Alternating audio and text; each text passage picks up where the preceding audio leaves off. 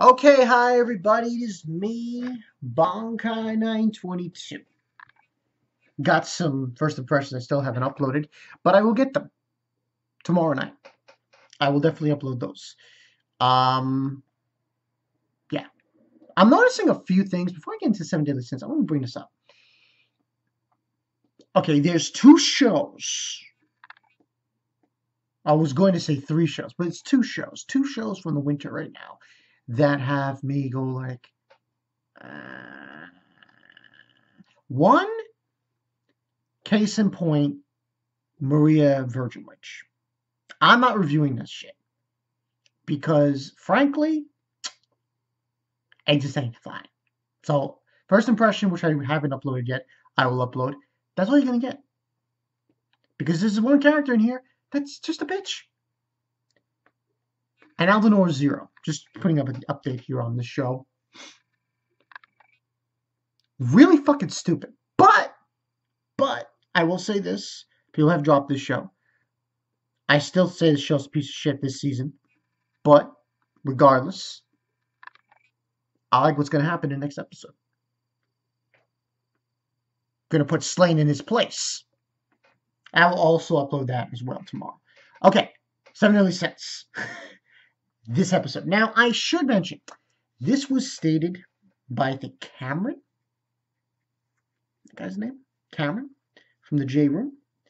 He put in the J Room or somewhere else, which on Facebook, that they skipped the fight. Yes, they did. Okay. They skipped Gowther versus Thredder. So instead of showing Gowther versus Thredder, they basically have Gowther. And by the way, this is for the anime only watchers. Sorry I said that, but they do skip something here. And to be honest with you, I'm not upset like I should be about this. Because the thing about it is, is that that fight was very short. Very short. Very short. I don't even think, I think it lasted maybe one chapter? Half a chapter? I don't think it lasted very long. So the only significance of that fight is that what comes from after it, with what goes on with Thredder. But I don't think it's a big deal. So instead of that, we just basically have Gowther going straight to where the action is, which is Dreyfus, Helbram, Gil Thunder, and Jericho having a little squabble against Howzer and Gila. Now, I have to say, A1 Pictures, stand up and give yourself a nice round of applause because they did a very good job with the thing with Dreyfus and um, Gowther. I really like that. That whole dream sequence, wow. That was creepy as fuck.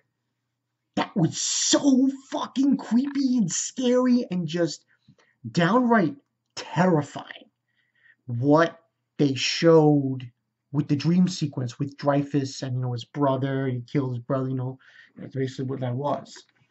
And that whole scene, fantastic. And another fantastic scene when Helbram got the snot out of him. Because then King came in and he basically just threw him to the ground. Uh, by the way, I do not like Helbram when he was in that form of that bearded fuck. I really did not like him there. He was a douchebag. I like him better in the young form, which we saw in this episode, the fairy form. Now, which is his true form. Um, aside from the Gowther thing, I really have to say I give this a five out of five. I thought this was done very well. Um, nothing really to complain here. Now, here's the thing, though. This is episode 18. And six more. Now, I'm going to come on a limb here. They're not finishing this. And if they are finishing it, it's gonna they're gonna have to squeeze the fuck out of a lot. They really will have to. They will you know, you're talking about a lot of condensing.